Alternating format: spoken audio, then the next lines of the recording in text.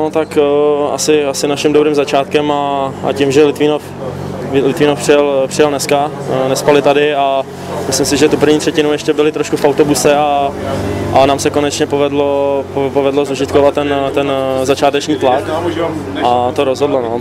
Dali jsme pár gólů, pak jsme ještě, pak bylo že jsme v té druhé třetině přestali hrát a, a pak, už, pak už se to nějakým způsobem dohrávalo na ten zápas.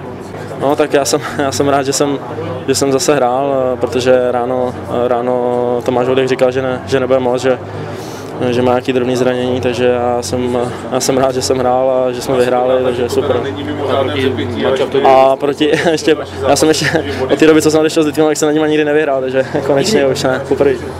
Eh, to už mohlo být docela příběh, nějak, nějaké traumátko malé, ne? Jako... No to úplně ne, ale tak eh, když jsme hráli u nich teďka, tak jsme 2-1 vedli celý zápas a pak jsme dostali před koncem takového blbýho gola a zase to nevyšlo, takže dneska jsem rád, že můžu dát konečně peníze do kasy, co jsem vypsal a, a ještě, a ještě jsem dal konečně prvního gola, takže super úplně. V podstatě se stal s obráncem z nouze, takže jak to bereš?